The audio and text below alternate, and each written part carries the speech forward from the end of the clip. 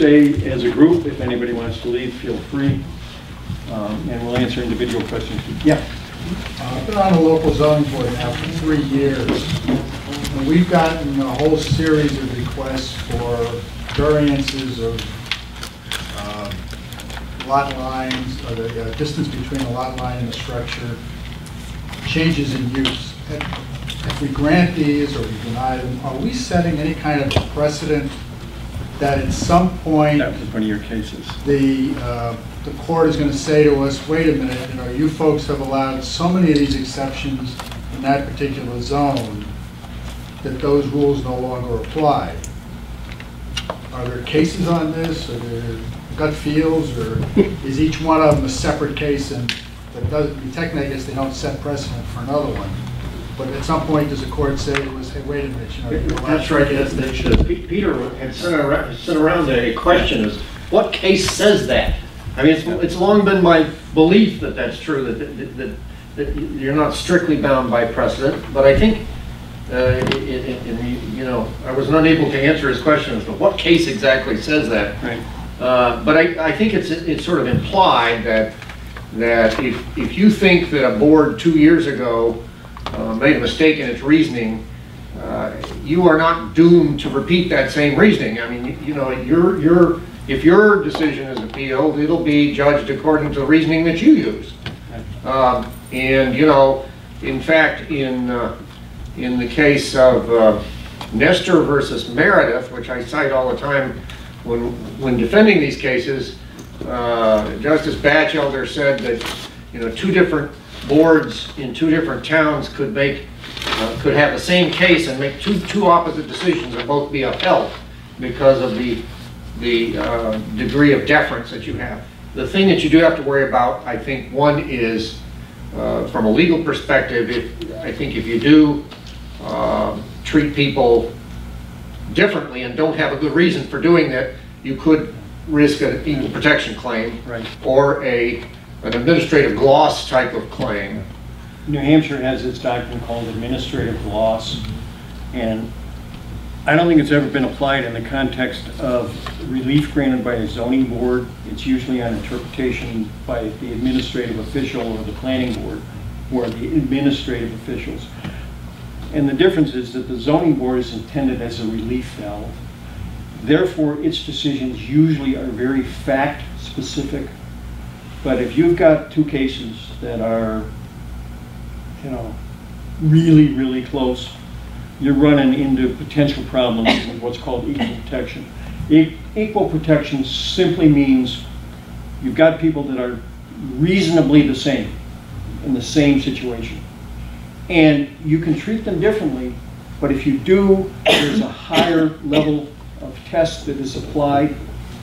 Normally, in a land use case, um, in, in a case like that, is there a valid public purpose for what you're doing, and is that rationally related to achieving that purpose, what you've done? The, the standard for equal protection is a higher, okay? There ha, it, it doesn't have to be a compelling interest, but it has to be a- not just a public interest, but you're furthering a substantial interest, and that's a somewhat higher level that you have to meet. So, there is no rule that says you did this in one case, you gotta do it in another case. But if you're doing it and the cases are similar, there ought to be a reason why. I think, I think another, another aspect of it is, is not, not entirely hundred percent a legal reason, which, but, but it's a, it's a political one. If you're perceived to be doing different things for different people, then you're gonna charge, you you know, you're, you lose credibility. And eh, with, with your, with your public, perception of, of being impartial. And, uh, I mean, we all know that in Massachusetts is who you are. well, the, the, the, Sorry uh, for anybody who got up here.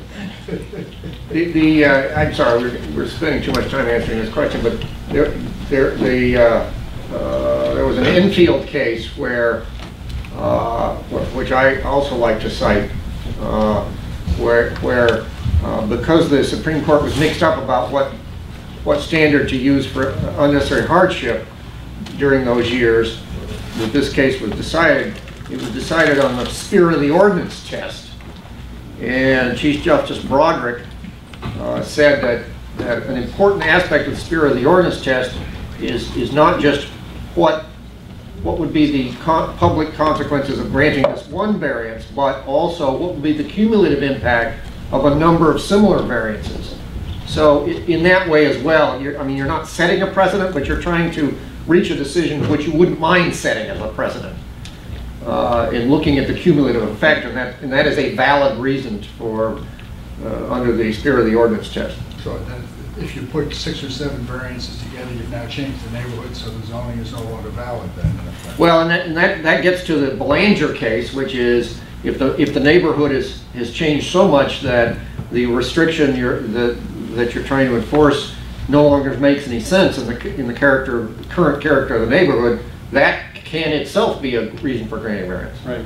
Um, There's, I've, I've done a number of cases like that where, uh, the Belanger case, it was out in Nashua, and there was a neighborhood in Nashua where a lot of old buildings were like within 15 feet of, of the front property line. And that complied with the zoning that was in effect back then. But for its own reasons, the city council said, well, let's increase the setback to 35, 40, 50 feet. So you'd have a neighborhood where almost all the lots were built on 15 feet from the sidewalk. And somebody had a lot and they wanted to build, but you gotta be 50 feet back. It's stupid, okay? Um, It doesn't pass the smell test to do that. And the, and the, the, the so if you have a situation where you have a number of variances, of it, that's one of the reasons why I suggest the meetings between boards. Wait a minute, we've had six variances this year relating to this issue. That may be a suggestion that you've got a Belanger situation, that the zoning is out of touch with reality. Thank you. Yeah. Is, is there any best way to record the voting of the five points in the variance? Everybody discusses it. You do not vote.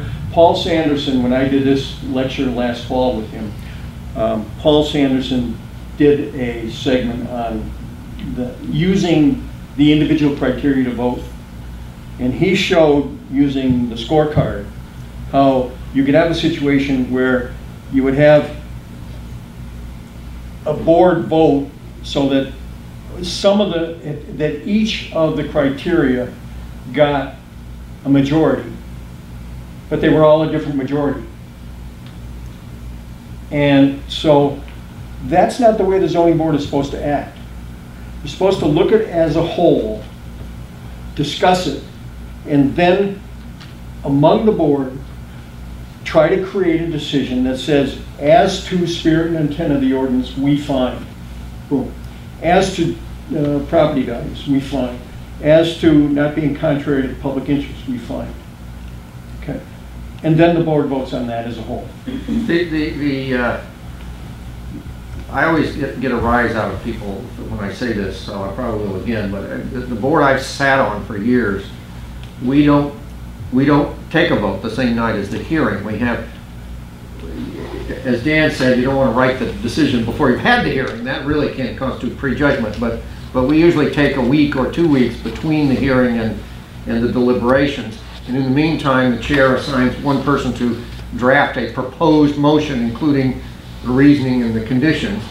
And, you know, then we- we get to the deliberations and, you know, we can scratch out a paragraph if we don't agree with it or whatever, but then we have a solid vote on the whole thing at the end. And I, and I strongly, you know, I think I agree with Dan, that's the way you do it, and not separate votes on each criteria. No, I, I, I, and and again, I wish I had Paul's, uh, Paul is retired now from NHMA, but he had a nice little chart that Oh, showed didn't how. know that. Yeah, He- he- this, he had a nice little chart that showed how this just doesn't work when you vote on the individual criteria.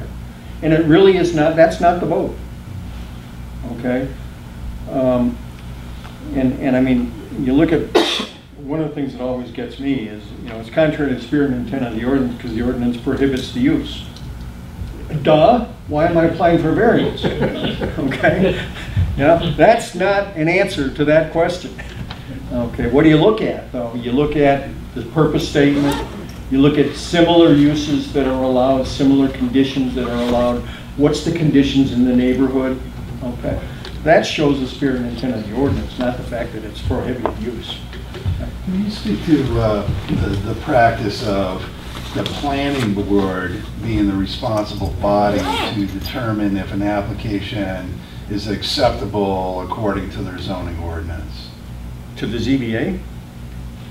The planning board making a, being the body to determine if what's being proposed through an application fits within their zoning ordinance. Well, I- like I said, there's, a- there- I know of at least two towns up north where they do that all the time. Every single application for anything, Yeah, I- even a building permit, goes to the planning board. I can think of at least one town Yeah. But, uh, south of North. There, there is, I mean, it's nice to have input, but there is at least one caution on that. And, and um, that's the the Winslow versus Holderness case, where um, a member of the planning board uh, appeared at the zoning board hearing um, and testified either in favor or in opposition to the zoning board deliberations.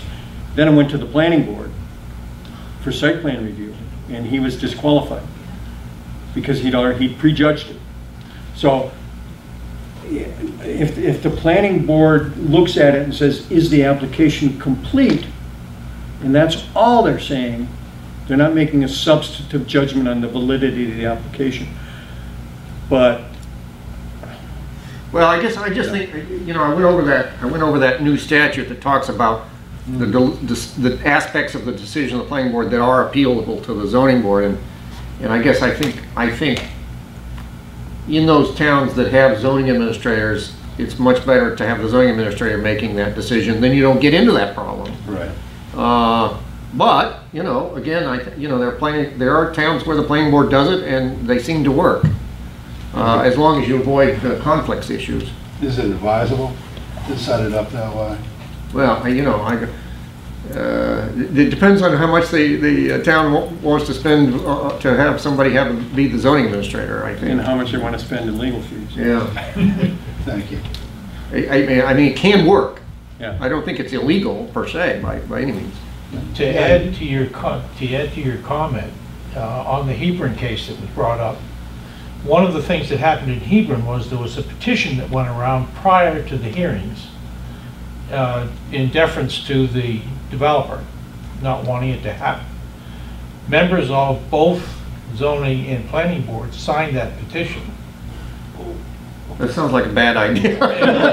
It was a We very agree on difficult- that. It was a very difficult idea because we had a very hard time finding people to serve on those boards that hadn't signed the petition. Right. Is it, uh, are you from Hebron? I'm from Hebron. Yeah. And I was deeply involved. I was a selectman. I was very, uh, I was very impressed that Jae Whitelaw was able to uh, get that decision upheld, frankly, because I read it in advance and I said, wow, this is, it's gonna take, a- it's gonna take uh, some work to get this decision I mean, upheld. the- the other things that zoning boards used to do, that- that they would, you know, take testimony and the chairman would stand up, okay, now how many in the audience think we should grant the variance? Don't do that. That's another issue. I, I had a case, one of, one of the few cases where I was not representing the municipality in the past ten years. Uh, I was representing some friends of mine in a town that we don't represent, but, uh, you know, it had been, it had been discussed thoroughly on the local listserv.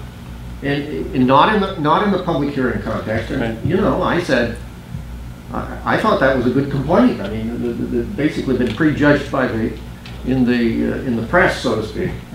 Um, And, and, and the board members have been participating in that conversation. Yeah, I mean, I. I just think that's a bad practice. Yeah, I don't, I, I mean, publicity, this isn't a, you know, a criminal trial, like we're gonna move the venue or something like that. But board members need to just say, no thanks. You know, I had out there, don't blab on one of my slides. And, I mean, I, I've been chairman of planning boards, I've been members of planning boards, and people come up to me, well, what do you think? You know, I'm sorry, I like you, but we're not gonna talk, let's talk about the weather. Mm-hmm. Okay, you had a question? Yeah, could you, you talked a little bit about public access and what came to mind is a lot of times when they try to get these developers that are developing some land, or they got a cluster development or whatever, if there was an existing snowmobile trail in the back of it or something, a lot of times the planning board will try to, well, we want to make sure that we have that trail in the back. Now, I, I think I heard you said that that's not a good thing. No, I, I, what I'm saying is, is that, I mean, if, if somebody can sense, it's a good thing, okay? But make sure that it's noted that the developer offered, okay? That would be a good thing. Oh, okay. Mm-hmm. Okay. Now, yeah, what I'm saying is that if you're talking about things where you're requiring the developer to provide access along or across the property, you need a reason.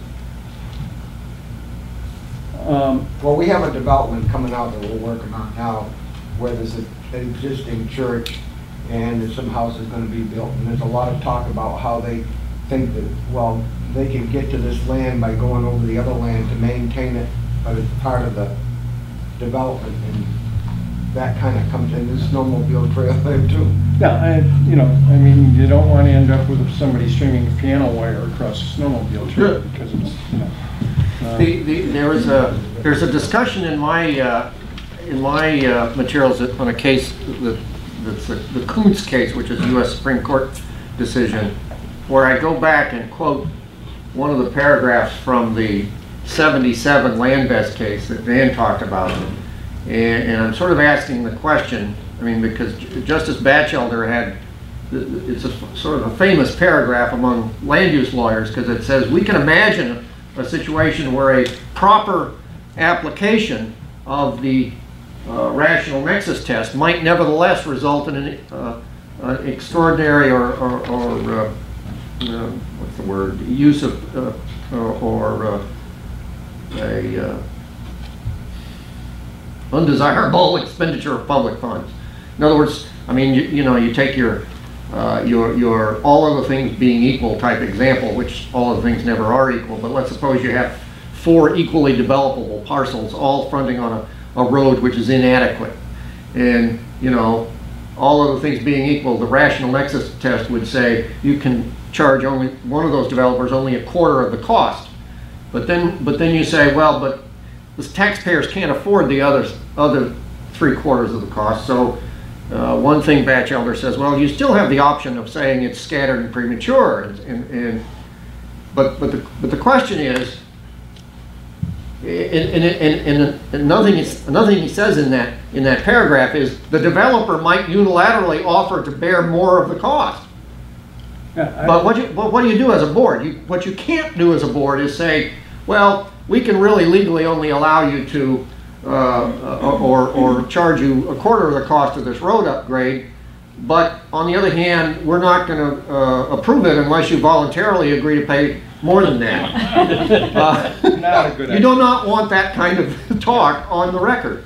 Uh, you know, you make a decision based on the law, then if they see that decision and say, well, you know, I'll come back and voluntarily offer to do more, then they, they have the authority to do that, and you, you, and you make it clear in the record that it is a volunteer. Read, read Bernie's comments on the Koontz case, because that, the Koontz case deals pretty clearly with that type of Can you Yeah. suggest a volunteer thing? Would you volunteer to donate that land for snowmobiles? Is that a bad thing? To, to, to, to, for the board to, to, to make that suggestion? Yeah. No, I don't think that, unless it's, uh, you know, unless it's something, Unless it's coercive, yeah. Okay. Um, Yeah, um, you know, that already exists. don't look a gift to the horse in the mouth or whatever, but uh, it's, uh, there's, uh, so. If you Well, I have gotta questions, further questions, you, my Hey, email thanks, address guys. is in there. so Thank you. and mine is too. Yeah, good. Thank you, gentlemen, very much. I gotta get going, because I gotta get home before.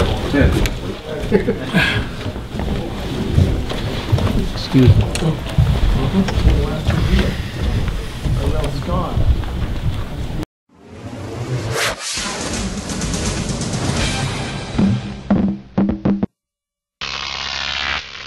TV.